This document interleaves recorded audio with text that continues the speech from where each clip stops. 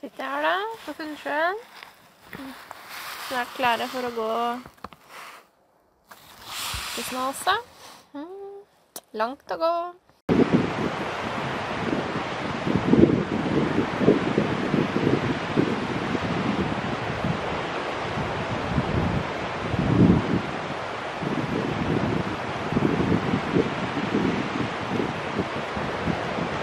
Da jeg kom dit, så gikk vi videre opp mot Sandvika. Så vi har gått, gått et ganske stykke opp fra Ferslia, ca. Høyde, 100 høydemeter eller noe sånt. Det er egentlig veldig fint. Mm. Det var ganske tett skog i starten, så jeg var faktisk litt redd for bjørn. Mm. Men det går egentlig helt greit også. Snakker med litt folk på telefonen og hører på litt musikk og... Så det er egentlig deilig å ha på en måte klart å overkomme en så stor frykt da, som kanskje holdt meg litt tilbake for å klare å gå denne etappen her.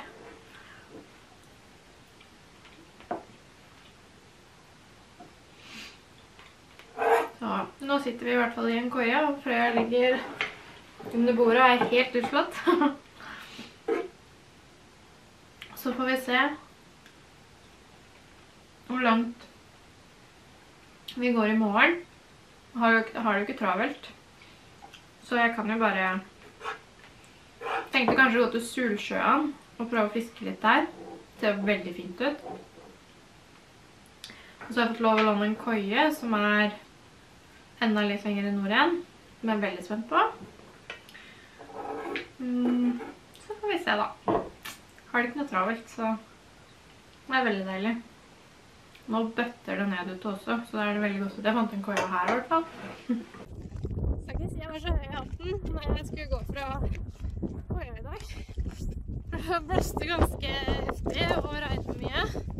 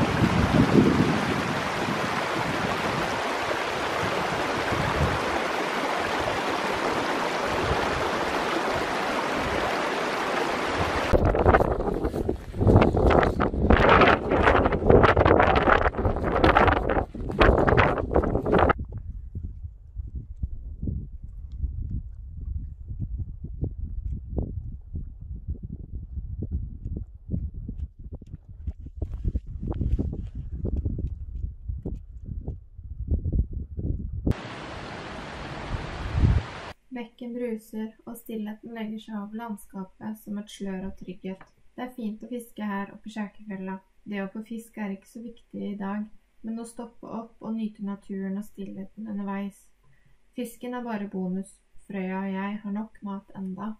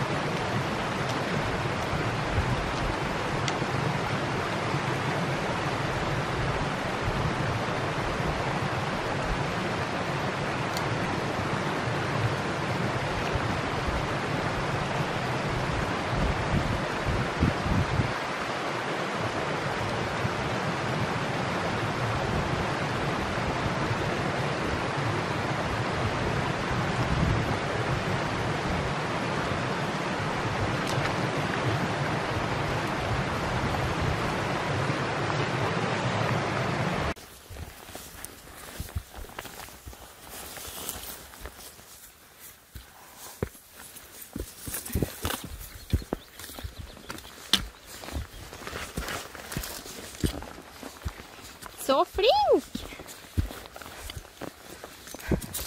Hei. Høyre. Kom, Freya. Freya, kom her. OK. Vis, visste du en bedre vei? Det er greit. Ja, opp der, da. Bra. Du er flink, altså. Veldig bra. Hva er det der? Veldig rart.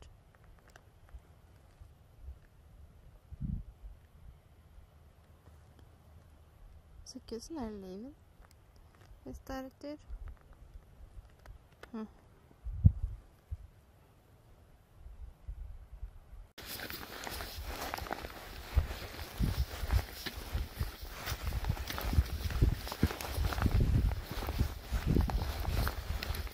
Kom an.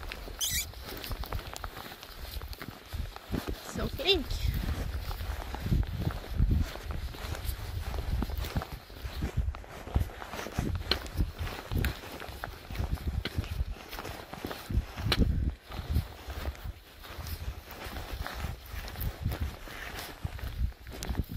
Hei. Jeg har bare vært og fiska, det. Det ble ikke noe fisk, da. Det er kanskje ikke fisk i vannet her. Mm. Tror du, Frøya? Kos. Ja, kos.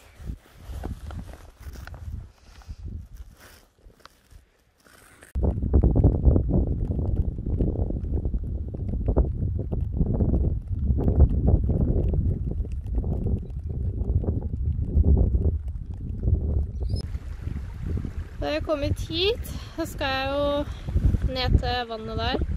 Og så er det en rød på den der. Og jeg må si at her kjenner jeg faktisk litt på høydeskrekken. Og så er det jo vått og veldig sleipt. Så jeg er litt uh, spent på hvordan det går. Men vi får håpe det går bra. Hva tenker du, Freya? Må ikke du trekke meg ned, da? Mm? Er greit?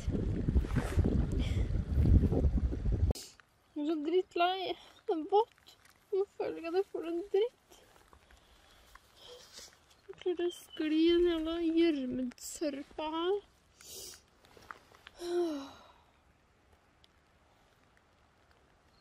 Nei, nå må det faktisk komme litt sol.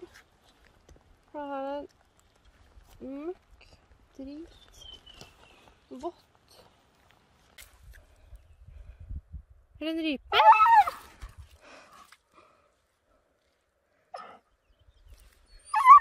Det går bra. Kom an, skal vi gå videre? Kom igjen.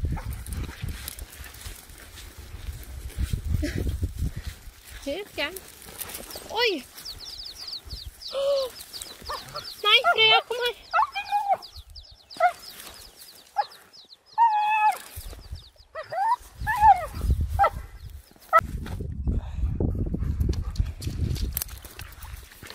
Litt vann, du.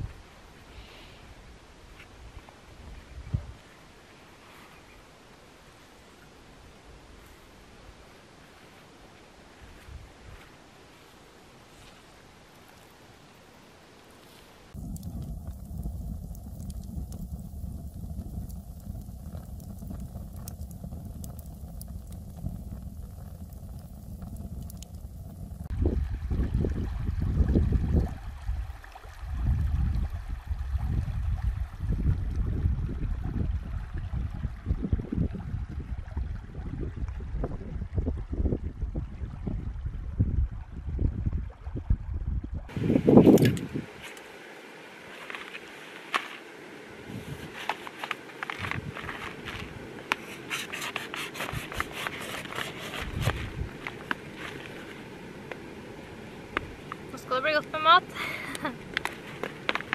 I dag har vi gått langt, ass. Sånn, ikke mange kilometer, men eh, det er seigt å gå i myra. Nå har vi endelig kommet til nåvatten. så nå i morgen så skal vi bare over fjellet, og så kommer vi ned til Rokkdalen. Og da er vi nesten i Snåsa, faktisk. Så det blir deilig.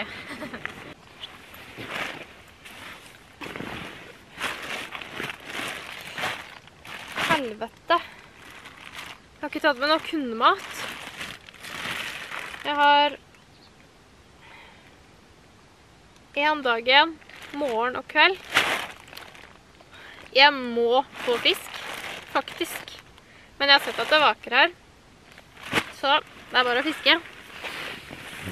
Jeg er nødt til å lære meg å planlegge bedre, ass. Det her går jo ikke an. Mat til en dag igjen.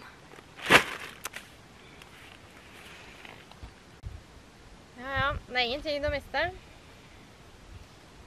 Bare å rigge klar stanga og prøve.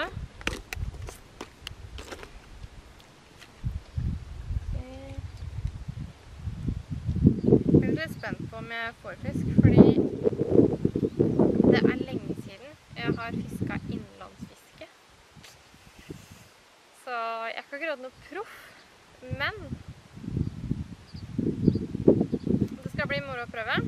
Og nå som jeg vet at jeg må få fisk, fordi at hvis ikke så har jeg ikke Frøya mat, da blir jo faktisk presset enda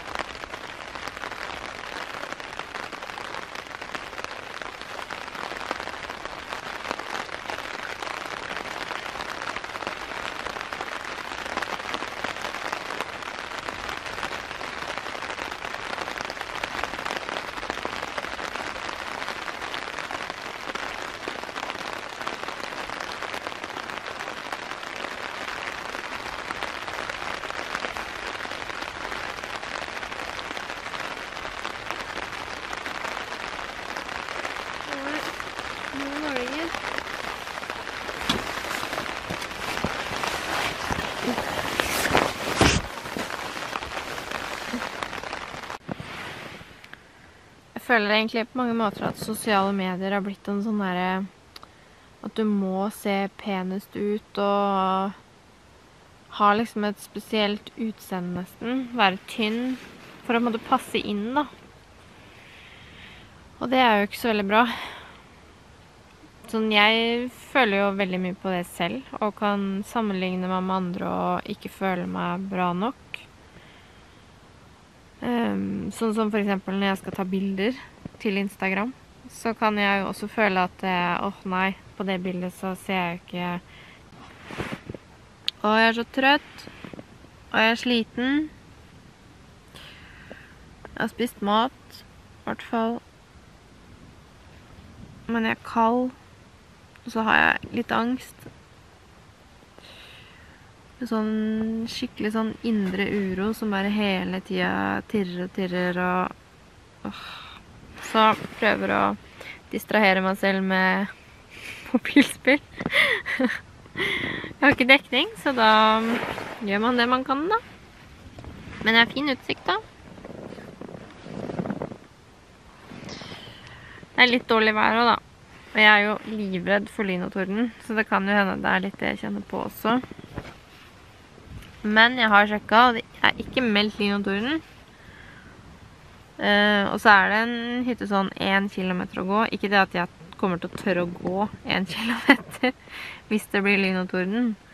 Men det er på en måte liksom en sånn sikkerhetsgreie òg. Oi! Melding på GPS-en. Hmm. Fikk jeg fiskelykke inn på GPS-en. Det er bra, det trenger jeg. Mm, Freya, hvordan går det med deg? Hei. Mm, å, se på deg, ja. Mm. Du slapper helt av, du. Mm.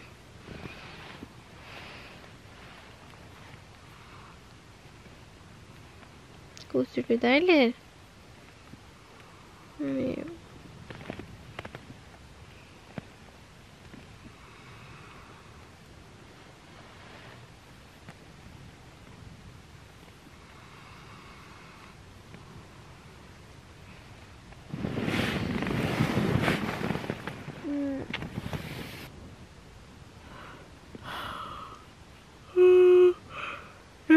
trøtt.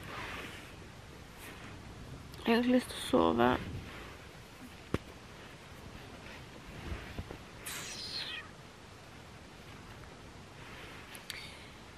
I morgen så skal vi prøve å komme oss til um, Åsa. Nå er så dårlig vær, så jeg egentlig bare gira på å bli ferdig. Bare komme meg ned til Snåsa. Bli henta, få tatt en varm dusj. Sove inne. Vann fra springen. Bare sånne enkle ting. Kanskje noen tacos.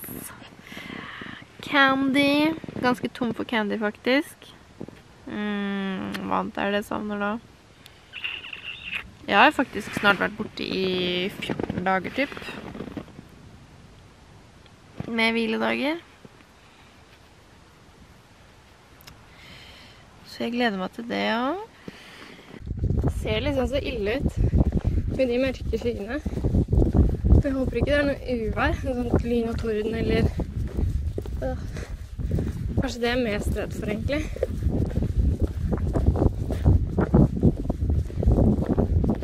Håper ikke jeg skal over der. Hmm.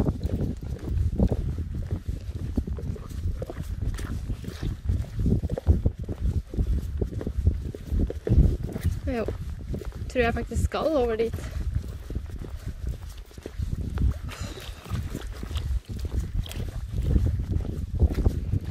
Nå er vi nede fra Skjækfjella. Snart mot Snåsa nå.